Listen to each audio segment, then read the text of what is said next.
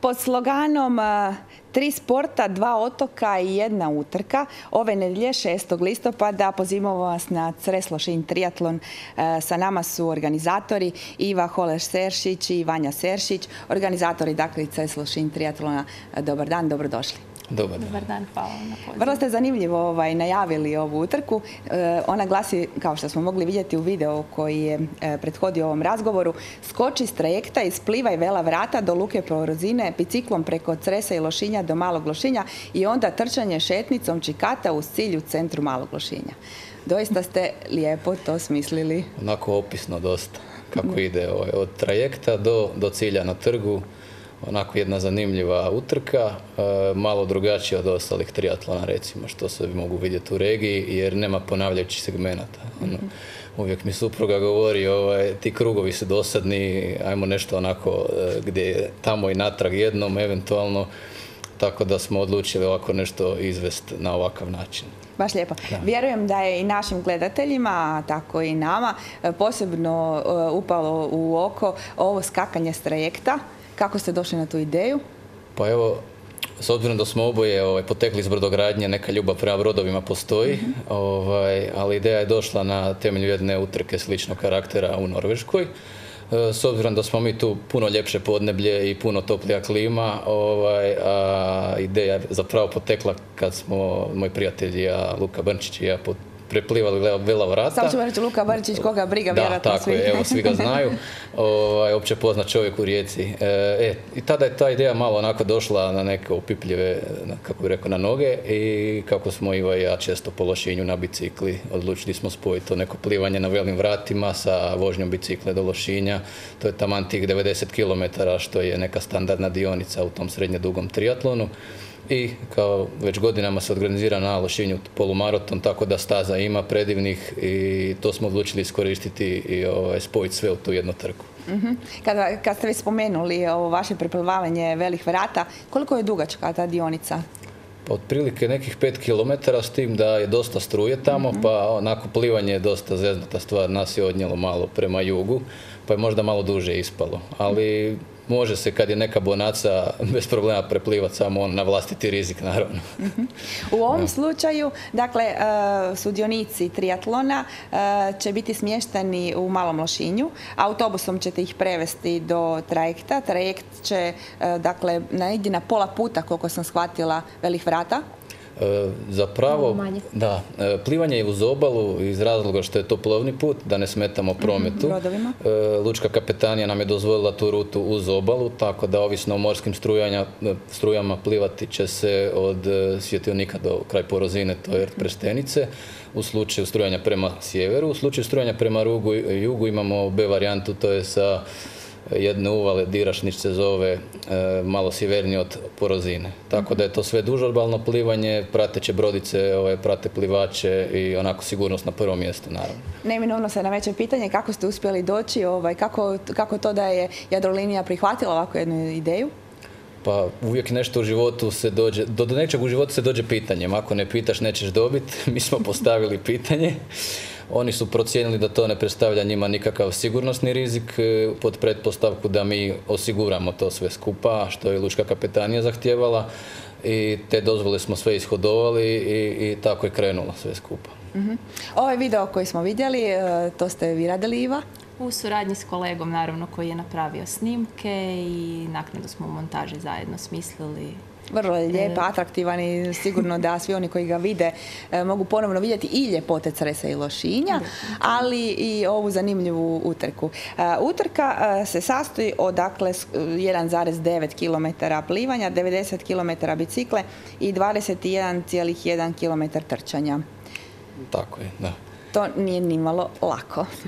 ne, definitivno nije. E, svi natjecatelji koji se prijavljuju na utrke tog tipa su definitivno spremni za tako nešto, s tim da je ovdje dosta zahtjevna biciklistička dionica iz razloga što tipično takvi triatloni su po nekom blažem terenu, recimo bez neke visinske razlike. Ovdje 400 metara sam vidjela. E, ima, znači to su svi skupa usponi se nekako zbroje oko 1500 sve skupa kad mhm. se zbroji. Znači imamo prvo uspon na, na, na Križičkore, Dragozetići prema Belom, onda spuštamo se u Cres, penjemo se gore kod Loznati, Krčina dalje, ovaj kraj Vranskog jezera prema Beleju, Osoru, i možda autom kad vozite prema Lošinju to izgleda jednostavno, ali evo ide se biciklom tu više, to, to sve skupa što je inače izgleda ravno postane dosta brdovito. uh Ono što je zanimljivo da, je, da su prijave zaključene i da je e, broj sudionika dvostruko veće nego lani. Naime, ova utrka, kao što smo vidjeli na snimkama, održala se i lani prvi puta.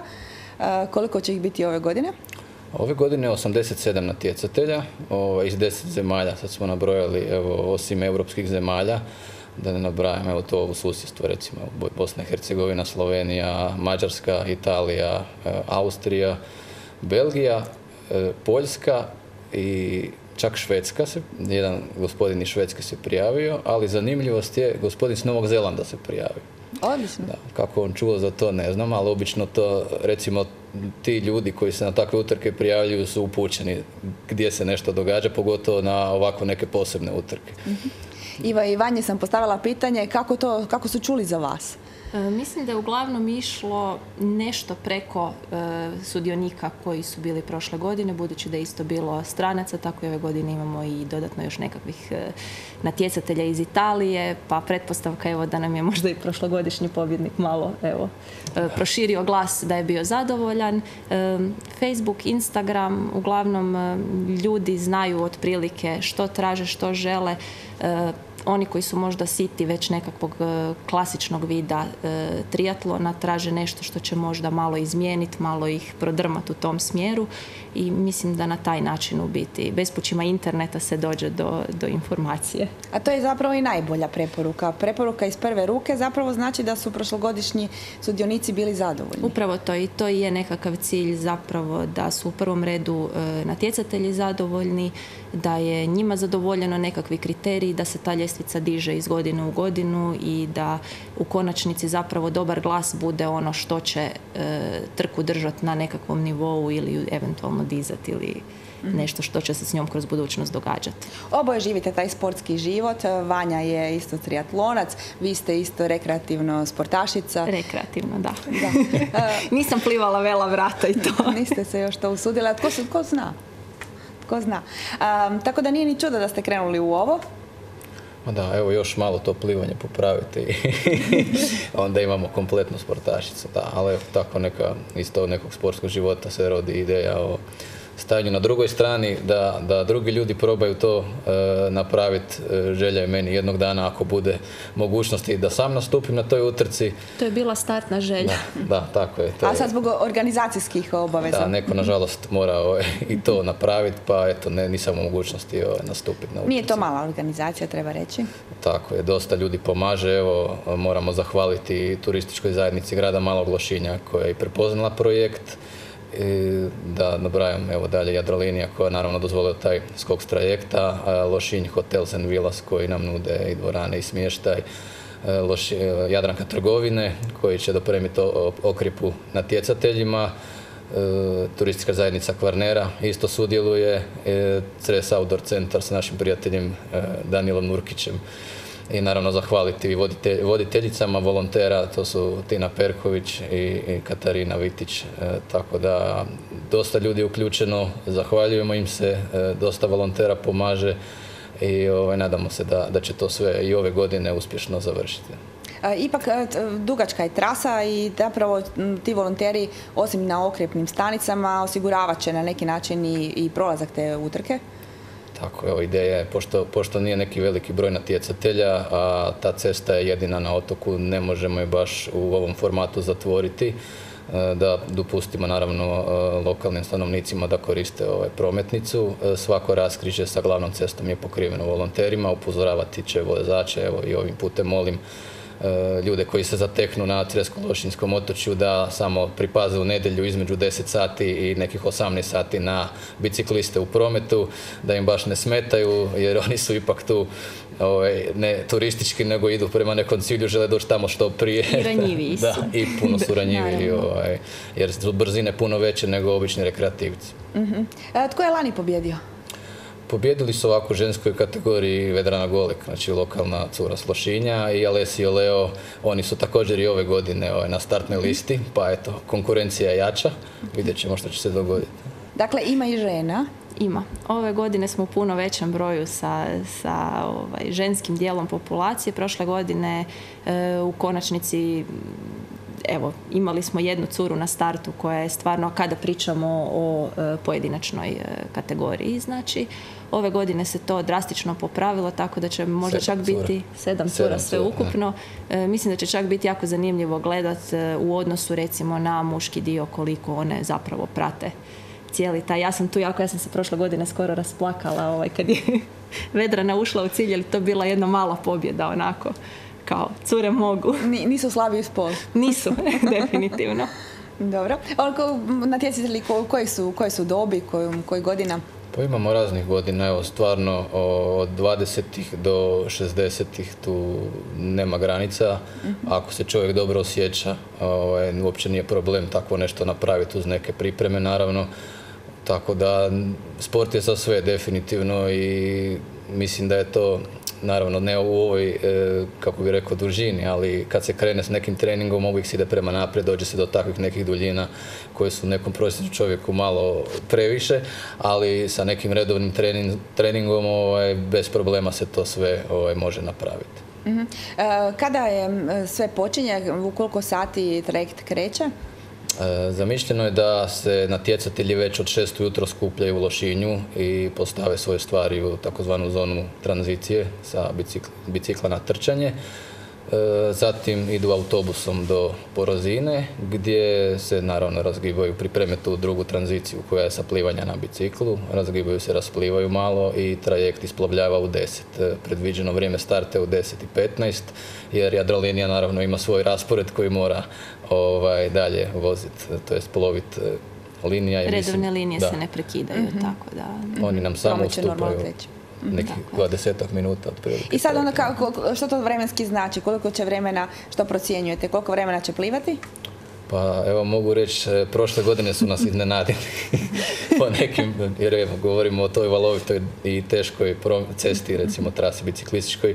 Plivanje je bilo gotovo zbog struje, znači opet su išli plivači ni struju nekih 20 minuta, 25 minuta otprilike trebalo prvom s tim da je on biciklističku dionicu završio za dva i pol sata. To je ono dosta brzo i tako da ove godine smo spremni na takve brze natjecatelje, pa smo malo satnicu, to jest dežuranje volontera pomaknuli e, u, na ranije, ranije vrijeme. To znači da najbrži bi mogao stići od Porozine, dakle od tog skoka sa trajekta do centra Lošinja, što vam je neka procjena? Oko 13 sati, recimo. Oko 13 sati. Da, da tu Brzo. Tu će pa malo struje pomoći ili odmoć, ali tu smo negdje. Neka, nek svake godine bude drugačije.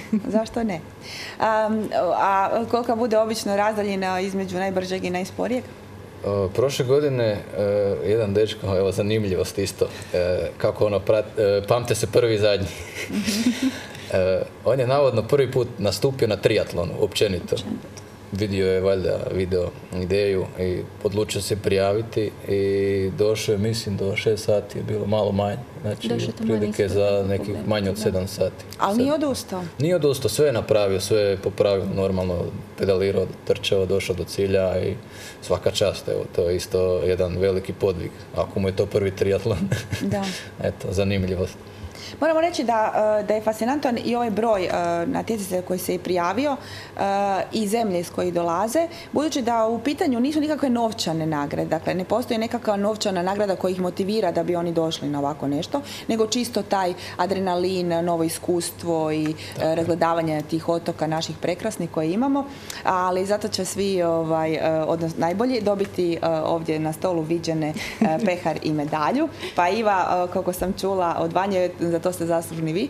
Je, je, Vanja priča okolo. Vanja priča okolo da je, da, da, da je Iva zadužena za uh, vizuale. vizuale, da, znači za nekakav vizualni identitet. Da, ovo je pehar, znači imamo tri veličine, prvo, drugo, treće mjesto. Kako idemo prema gore, ovaj peharić je malo veći, međutim, danas nas je kiša onemogućila da donesemo onaj najveći. E, medalja je za sve koji uspiju izgurati tu dionicu.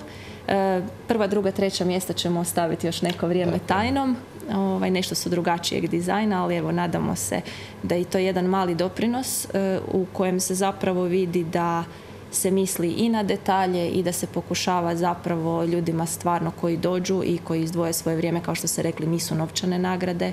E, znači, osim toga da im se pruži jedan ukupni dojam koji će dati jednu sliku ne samo same utrke, nego i prezentaciju i tog otočja na koje dolaze i dati jedan unikatni suvenir za uspomenu, mhm. koji sigurno je sam po sebi već podsjetnik svojim izgledom i na otok, budući da je sam pehar dizajniran tako da predstavlja Cres i Lošinju nekakvim malo oštrim linijama, ajmo reći, tog adrenalinskog dijela ovo je trasa zapravo Žuto je, zlatna je mhm. trasa e, koju, dionica koju će ovaj, pretrčati i odvoziti e, natjecatelji, a ovaj gornji dio je, e, pričamo o otoku Cresu i onda dole naravno Lošinju.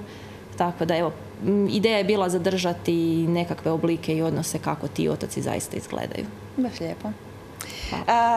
primitila sam da postoji i štafeta. Što to znači, štafeta? Pa imamo ljude koji su uh, voljni sudjelovati, uh, malo su nakon timskog duha ili možda slabije kondicije, nećemo vrijeđati. Ili vole samo jedan sport. Da, ili vole samo jedan sport. Uh, te se mogu prijaviti kao ekipa. Jedan od njih će plivati, jedan od njih će voziti biciklu, a jedan od njih će naravno trčati ima par ljudi koji će ići recimo kombinaciju jedno od to, recimo plivač i biciklist je jedna osoba, trkač je druga osoba i razne kombinacije, tako da pošto je ovo promo utrka, pokušavamo je ovaj, recimo promovirati e, to otoče u postsezoni i privući što veći broj ljudi da vidi to, da doživi. E, ne pratimo neka, neka pravila da, da su ograničeni, da nisu stroga pravila. Recimo jedino što se prati je da ne voze natjecatelji u zavjetrini iz razloga što su brzine dosta tu veće, to su posebni bicikli sa onim rogovima dugačkih čisto radi sigurnosti, moraju držati jedan razmak, a i radi fair borbe jer recimo vozite se iza nekog u zavjetrini, naravno morate, ne morate toliko jako pedalirati jer ovaj ispred vas... E, Pogotovo cure iza dečki, da, i tako. Da, da bude fair play. Mhm. Koji bi bio savjet e, našim gledateljima? E, koje bi bile najbolje pozicije, najatraktivnija mjesta gdje se najbolje može vidjeti i doživjeti e, dakle, ova utrka? Evo, to je malo sad za špekulaciju iz razloga što ne znamo kako će struja biti u nedjelju. ako bude s juga prema sjeveru, idealno mjesto je šetnica i možete od porozine prošetati do, do svjetionika uvala prestenice ima jedna staza koja vodi i sa te staze se može vidjeti kompletna plivačka dionica. Ako je sjeverna tura, onda baš nije neki teren pogodan za šetnju, ali mogu ljudi doći naravno na porozinu, ili na plažu u Rozini. I naravno u malom Lošinju gdje, gdje se recimo centar događanja, tamo je i cilj i ta tranzicija gdje se zapravo događa taj atraktivni dio jer zapravo natjecatelj samo prođe kraj vas. Nije nešto što bi zanimljivo bilo gledateljima, ali evo ta tranzicija, neki moving tamo će biti možda atraktivniji onako. Da, e, oni dva puta prolaze kroz Mali Lošinj. Tako, dolaze. kad je tranzicija dakle od bicikle na trčanje i drugi put u cilju. Tako je, da. Mhm tako nadam se uspješno svima. I ove godine smo malo izmijenili e, trkačku dionicu, sad se kompletno trči uz more, oko polutoka Čikat do Borika, e, tako da svi natjecatelji će proći cijelu tu Aha, cijeli onaj poluotok. Tako je. Mhm. Znači, I nema, nema krugova, to je ono što smo htjeli postići. Uspjeli smo da nema krugova. Evo, to je bio konačni cilj nekako ovaj, ja sam se uvijek grozila tih krugova i evo uspjeli smo ove godine riješiti taj dio znači da jednostavno stvarno nitko neće dva puta proći po istoj točki. Odlično. Ja vjerujem da smo našim gledateljima približili ono što ih čeka, dakle 6. listopada. Nadam se da će biti puno i gledatelja. Naravno, još jednom podsjećamo sve vozače da pripaze malo na promet, dakle na bicikliste, trkače i sve one koji budu eventualni gledatelji na, na cesti.